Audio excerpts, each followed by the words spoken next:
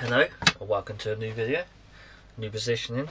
I've changed it slightly. So yeah, um, on today's video, we're just gonna really have a rant, you know, a little um, voice my opinion really on something what many gamers might um, might understand. You know, this is the first in the series. You know, I might make more if um, that's something that people like and enjoy. You know, not very good at explaining things, so it's a bit new to me, but something that comes to mind really that um, gamers can relate to. Um, so basically, in the media, when they say stuff like, "Oh, um, this person's uh, who's killed loads of people or done this crime or done that," uh, it's because oh he plays this game and he plays that game. You know, for instance, um, like GTA, you know, is a violent game. In theory, it's not, but you know, wow, it is. GTA is a violent game, and um, they basically blame video games for people doing what they did or being a violent person. Basically, um, giving them uh, excuse. Oh yes, because um, he plays video games. It's because he played this game. Oh, that's why he done it. You know, we should ban video games. We should ban this game. We should ban that game. I disagree. You know. So why I disagree is, if you're a bad person, in a way, you're a bad person. it Doesn't matter if you play a computer game or you play this and you play that. You know, if you're going to commit a crime or if you're going to kill someone, you know, it's already in your head, basically, that you're going to kill someone. You know, you're going to basically have these thoughts that you want to go stab someone or do whatever you want to do to them. You know, and yeah, that's it basically. They can't just. There's no excuse saying, "Oh yeah, it's because he played GTA," or is because he played. You know, back in the day in Manhunt, there was a scenario where some kid, um, I think he killed a few people, and he did similar things on like a, a game called Manhunt. If you remember back in the day on PS2, um, the article said, or said something like in court, that yeah, he played the game Manhunt. It should be banned, and that's why. If he didn't play Manhunt or violent games, he probably wouldn't have done this crime or something, you know? Like I said, I disagree. If he's really got it in his head that he wants to commit the crime, he wants to kill that person, he wants to. Doesn't matter what game you play, you know? Basically, what I'm trying to get at is they need to stop blaming computer games. That if you're going to commit a crime, you're going to commit a crime no matter what. You know, it's in your head. You know, you have these bad thoughts. If you're me- mentally unstable, you shouldn't be playing these games and that's down to obviously the parents or yourself really you should say no i shouldn't play this game because you know i'm not in the right frame of mind you know what's going on in my head so let's not play this game you know 18 ratings but when parents like letting kids play gta or any age rating i'll give him gta example because it's the only game i can think of oh yeah saints row right in front of me you know games where you go kill people shoot people you know cause harm not like a normal traditional like minecraft or um, what else have we got? You know, driving game, stuff like that. You know, next thing is they're gonna say, oh yeah, oh he joyrided and he uh, wanted to drive really fast. The reason was because he played Need for Speed. You know, you don't play Minecraft and next thing is someone down the road is building a mine. You know, because he wants to be a miner because he's played Minecraft. Where I'm going to in this video, and like I said, I'm not really good at explaining this. We need to stop blaming computer games, but it is the media and like the government, whatever you call it, you know, we're not going to go into government conspiracies and that because we're about gaming and gaming channels and collecting stuff.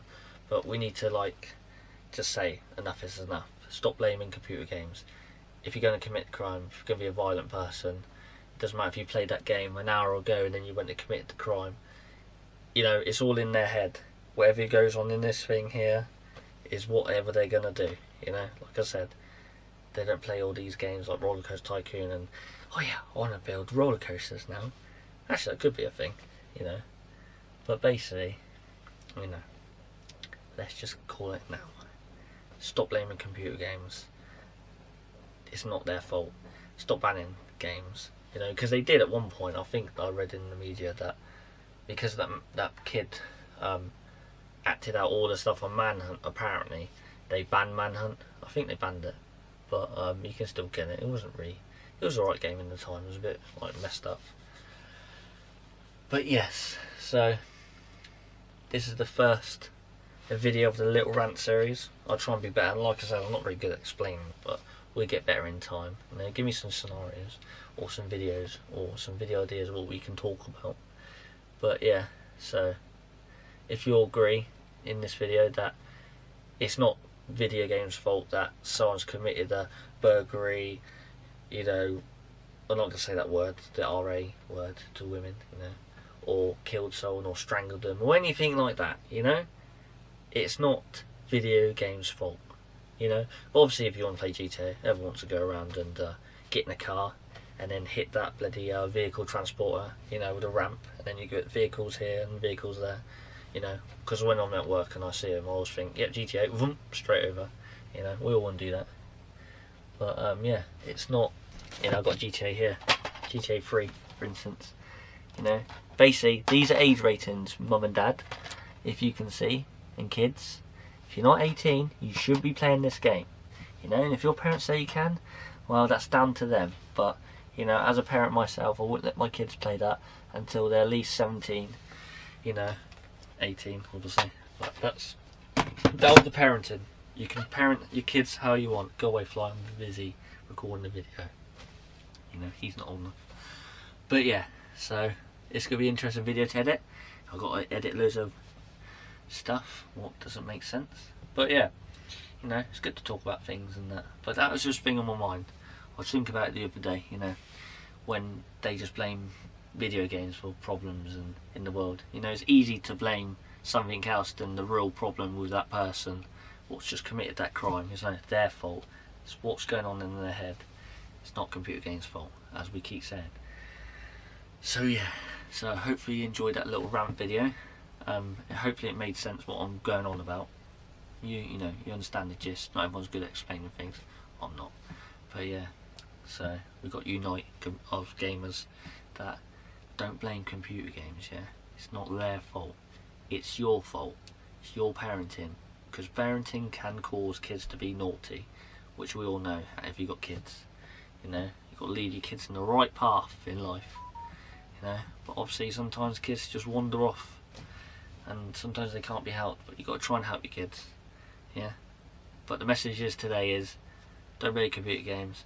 Parents, don't let your kids play underage games if they're not old enough.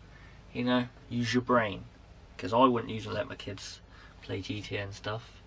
So, and Manhunt and all that. Oh, oh yeah, Call of Duty, for instance. We forgot about Call of Duty. We won't go on about that because it's near the end of the video. But yeah, you know, any shooting games, any violent games, just play some nice games like Minecraft. You know, kids these days are playing Fortnite, and that's a bit like I know it's cartoony, it's still violent, but you know, they play Fortnite, so not my cup of tea.